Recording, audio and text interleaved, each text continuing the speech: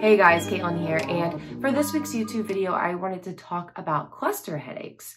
So cluster headaches are one of the three common types of headaches. So there's cluster headaches, migraines, and then there's tension headaches. With migraines, you're gonna have that unilateral throbbing headache with associated nausea and vomiting.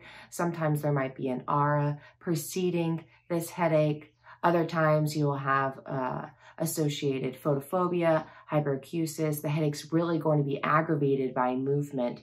And then tension headaches are going to be a lot opposite of this. It's going to be more of a global headache, squeezing in nature. They might have uh, tight trapezius muscles associated with a lot of stress, not aggravated by movement, usually no nausea or vomiting, and usually no photophobia or hyperacusis. Now, when it comes to cluster headaches, make sure you follow the DSM-5 diagnosis for these. Uh, it's usually going to include headaches that come in clusters, so headaches that can last for 15 or up to 180 minutes at a time.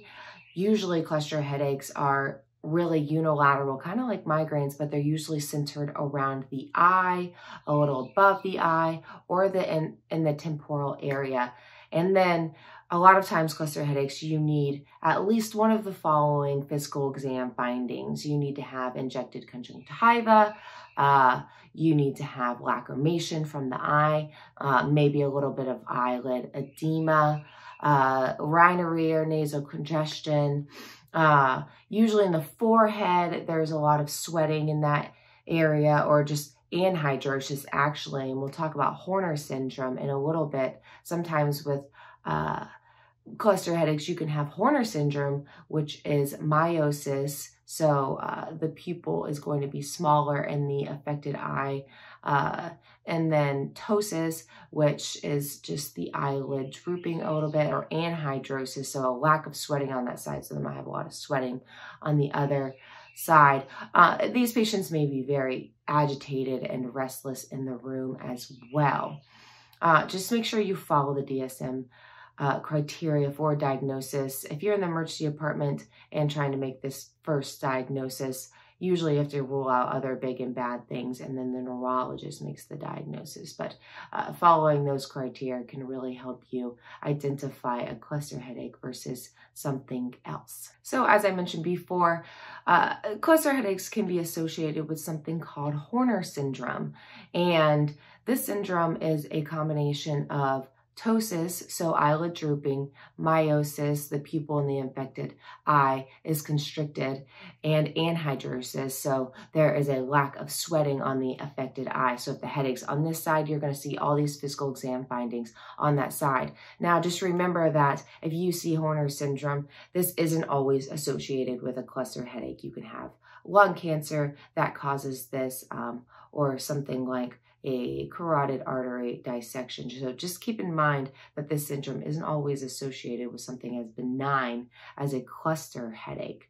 And a lot of these patients uh, are going to be middle-aged men. And the triggers that often precede their cluster headaches, unfortunately, may be alcohol. Uh, it may wake them up in the middle of the night. Um, they may have uh, gotten done with using nitroglycerin use or any histamine release can trigger uh, cluster headaches.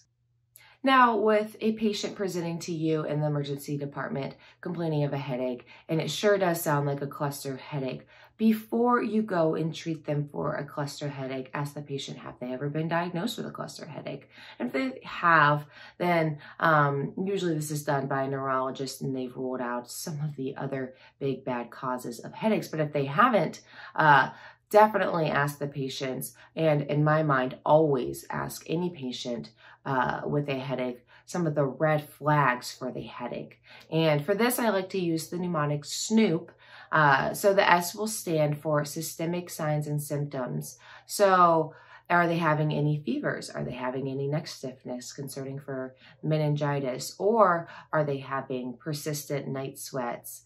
and now their headache is worse in the morning and they have a little bit of weight loss that's unexplained concerning for cancer.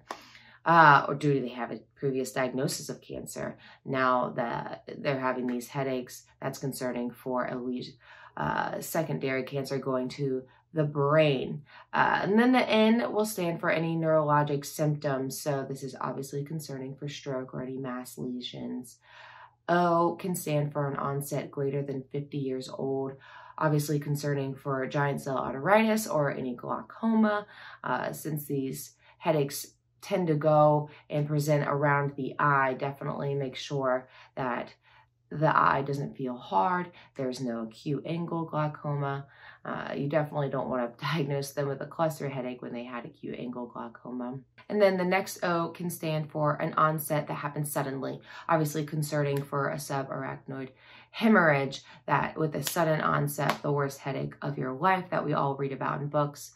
And then the P's can stand for papilledema, obviously concerning for intracranial hypertension, uh, any positional changes, or uh, the headache may be precipitated by Valsalva, um, or any progressive headaches, any new or changing headaches are all red flags of a headache. And make sure you ask this with almost every single patient. So when you're asking some of those red flags for a headache, you obviously don't want to miss some of the more dangerous causes of a headache in that area that may sound like a cluster headache. Um, like I mentioned before, Horner syndrome can be seen in carotid artery dissection, so make sure the patient doesn't have any neck pain. Um, you usually don't miss this. These patients are in extreme pain and uh, they will have symptoms in this area.